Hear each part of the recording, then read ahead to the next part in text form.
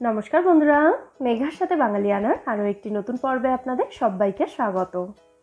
সারা বছরই আমরা টক দই বিভিন্ন কাজে ব্যবহার করে থাকি। সে শুধু শুধু খাওয়াই হোক বা রূপচর্চা অথবা রান্নাবান্নায়।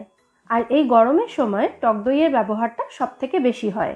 কেনা টক দইয়ের থেকে বাড়িতে বানানো টক দই মানে ঘরে পাতা টক দই কিন্তু অনেক গুণে বেশি হাইজিনিক এবং হেলদি হয়। তাই আজকের পর্বে আপনাদের সঙ্গে আমি শেয়ার করছি, আমি কীভাবে বাড়িতে টক দই তৈরি করে থাকি সেই পদ্ধতিটা।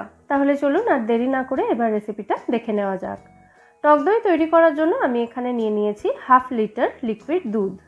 Full cream single tone double tone যে কোনো দুধ এখানে ব্যবহার করা যেতে পারে। আমি এখানে সিঙ্গেল টোন দুধ নিয়েছি। কড়াইতে ঢেলে দেওয়ার পর দুধটাকে একবার ভালো করে নাড়াচাড়া করে মিশিয়ে দিচ্ছি, যাতে নিচ থেকে ধরে না যায়। কিছুক্ষণের মধ্যেই দুধটা ফুটে উঠেছে দেখুন। এইভাবে দুধটাকে দু থেকে তিন মিনিট মতো ফুটিয়ে নিতে হবে। খুব বেশিক্ষণের জন্য কিন্তু এটাকে ফোটানোর দরকার নেই বা দুধটাকে ঘন করে নেওয়ার কিন্তু কোনো প্রয়োজন নেই। বেশি ঘন দুধ দিয়ে যদি টক দই তৈরি করা হয়, তাহলে দইয়ের টেক্সচারটা কিন্তু একটু আঠালো টাইপের হবে। সেই জন্য দুধটাকে ঘন না করে জাস্ট দু তিন মিনিট মতো ফুটিয়ে গ্যাসের ফ্লেমটা অফ করে দিতে হবে। তারপর দুধটাকে এভাবেই পাঁচ মিনিট মতো রেখে দিতে হবে যাতে দুধের গরম ভাবটা একটু কমে যায়। তবে দুধটাকে কিন্তু একেবারে ঠান্ডা হতে দেওয়া চলবে না। চার পাঁচ মিনিট রাখার পর দুধের মধ্যে এরকমভাবে আঙুল ডুবিয়ে দেখে নেবেন। যদি দেখেন দুধের মধ্যে যে গরমটা রয়েছে সেটা আঙুল ডুবিয়ে সহ্য করা যাচ্ছে, তাহলে বুঝবেন গরমটা একদম পারফেক্ট রয়েছে। মানে দুধটা গরম থাকবে, তবে সেই গরমে আঙুল পুড়ে যাবে না। দুধটা এরকম গরম থাকা অবস্থাতে এর মধ্যে দিয়ে দিতে হবে এক টেবিল চামচ টক দই। ঘরে পাতা বা কেনা টক দই এখানে ব্যবহার করা যেতে পারে। দুধের সাথে টক দইটাকে খুব ভালো করে মিশিয়ে নিচ্ছি। দুধ যদি এই সময় খুব বেশি গরম থাকে, তাহলে টক দই মেশানোর পর দুধটা কিন্তু কেটে যাওয়ার চান্স থাকবে।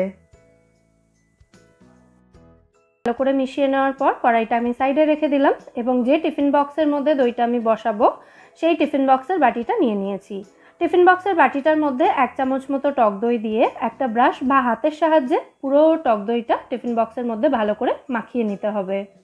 প্রথমবার দই বসানোর সময়ই এরকম একটু কেনা টক দই প্রয়োজন হয়। তারপর দই বসে গেলে সেই ঘরে পাতা টক দই ব্যবহার করেই কিন্তু প্রত্যেক দিন দই তৈরি করতে পারবেন।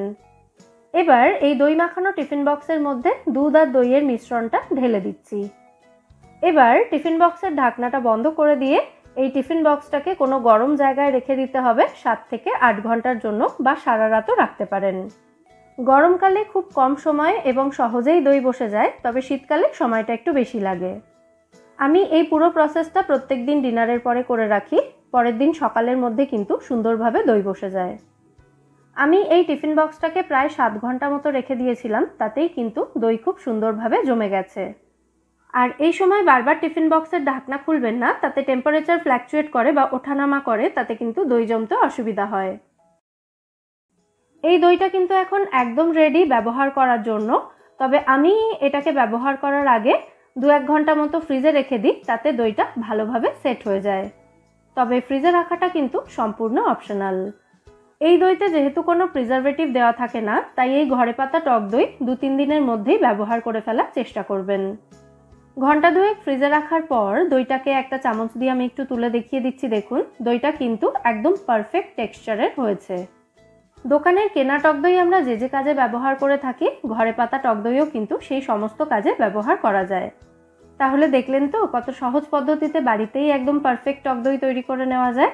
অবশ্যই আপনারাও এই পদ্ধতিতে বাড়িতে টক দই তৈরি করুন এবং আমায় জানাবেন এই টক দই তৈরির পদ্ধতিটা আপনাদের কেমন লাগল।